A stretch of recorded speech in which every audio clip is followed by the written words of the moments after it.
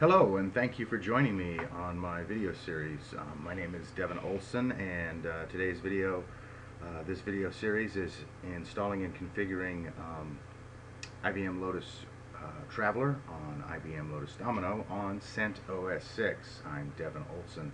Today's, um, this particular version is uh, part two, configuring Domino, um, or configuring the operating system for the Domino install. So let's go ahead and get started. I'm currently signed in as my normal user. Um, in the previous version, I, uh, episode, I talked about uh, why you should sign in as a normal user. Uh, what I want to show you right now, though, is I want to demonstrate that it is possible to switch users. There's two different ways to switch users. This first way is um, pretty simple. You just choose to switch the user, and I'm going to choose Other and we're going to come in here as root and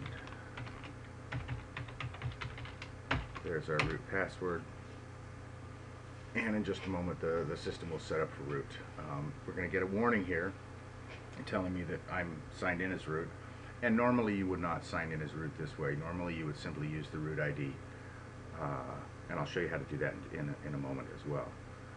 So here it is, the system's coming up, and you'll notice it, it signs in pretty much the same as the regular user. Um, one thing I do want to do while I'm in here, now that I'm thinking about it, is I need to get the, like I said in the previous uh, episode, we installed and configured the, the operating system, the CentOS 6 operating system.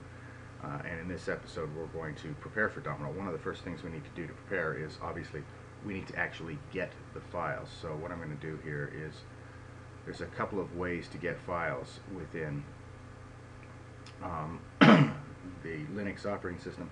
Most people you would use an FTP server, that type of thing.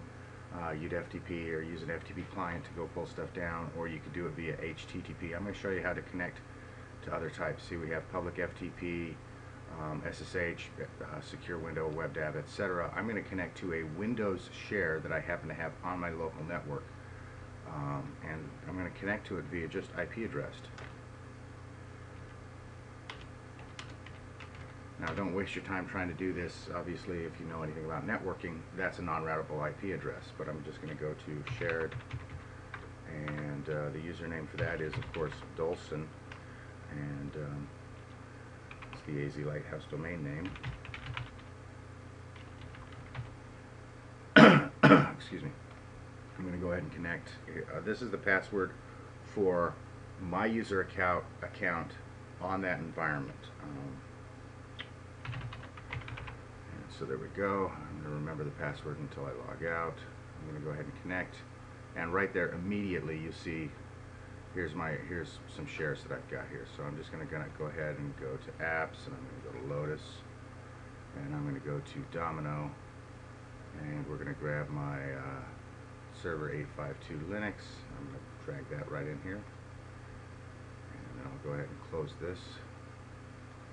And I'm going to go to, uh, from within Domino, I also need to go to Traveler. And we're going to go to here. Let's get the latest version of Traveler. There we go. We'll just drag that in here. And that's going to show up in here as well. So it's going to kind of start doing its copying. Um, and so it's kind of doing its thing. We got two two copies going on here. There's really not any reason to have you wait around and watch these being copied. So I'm going to pause this for just a moment, and as soon as they finish copying, we'll we'll continue on. So uh, hang on just a second. Okay, these files are just about finished copying. While they're finishing up, let me show you a couple other things that I, I forgot to show you um, earlier. So here we have up here in the upper right hand corner um, root. That's telling me who I'm signed in as, so I don't have to deal with the old whoami command in, in this version. It's, it's always clearly displayed this is who you are. Uh, one thing I want to show as also right now really quickly is I'm just going to kind of go ahead and open up this this visual navigator, this graphical user type of navigator, and I can kind of go through all my stuff. Um, very similar to a Windows application, I can go to the go to my computer and it kind of operates the same way. So there's my share, there's my file system, there's my CD drive. If I go to the file system from here. Now, mind you, I'm in the graphical environment. I'm currently signed in as root, so I can, if I wish to, right here,